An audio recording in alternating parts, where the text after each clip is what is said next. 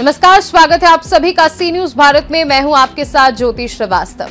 महाराष्ट्र विधानसभा चुनाव में जीत के बाद बीजेपी उत्साहित है। इसी बीच पार्टी दिल्ली के आगामी विधानसभा चुनाव को लेकर भी तैयारी में जुट गई है। राजनीतिक दलों में सत्ताधारी आपको जहाँ सरकार विरोधी रुझानों से पार पाकर बीजेपी से लड़ना है तो वहीं कांग्रेस अपनी राजनीतिक ज़मीन वापस पाने के लिए दिल्ली न्याय यात्रा निकाल रही है। वहीं महाराष्ट्र की जीत के बाद बीजेपी की दिल्ली यूनिट ने रणनीति बनानी शुरू कर दी है।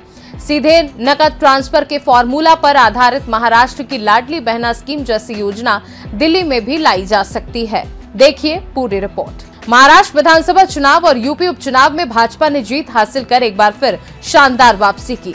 इसी के चलते पार्टी बिना समय गवाए दिल्ली में होने वाले विधानसभा चुनाव को लेकर अभी से तैयारियों में जुट गई है और इसको लेकर रणनीति पर काम कर रही है।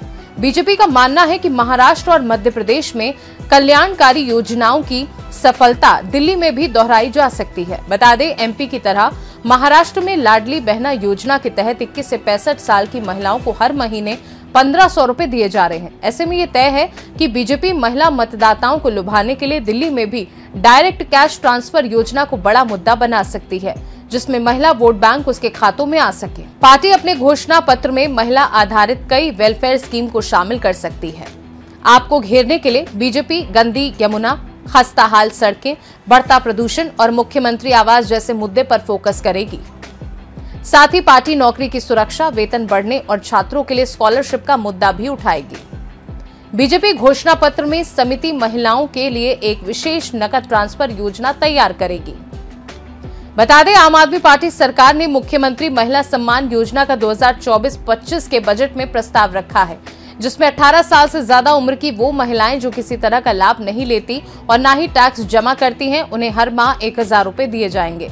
आम आदमी पार्टी के सूत्र बताते हैं कि इस योजना को जोरों शोरों से लागू करवाने की कोशिश आप पार्टी करेगी। ऐसे में किसी भी तरह की असफलता मिलने पर इसे मुद्दा बनाकर बीजेपी चुनाव में उतरेगी। हालाँकि इस बार बीजेपी भ्रष्टाचार जैसे मुद्दों के सहारे आम आदमी पार्टी के लिए मुश्किलें बढ़ा सकती है। ऐसे में माना जा रहा है कि विधानसभा चुनाव में बीजेपी और आम आदमी पार्टी के बीच कड़ी टक्कर हो सकती है। इस खास रिपोर्ट में बस इतना ही। देश दुनिया की बाकी खबरों को जानने के लिए आप देखते रहिए सी न्यूज़ भारत।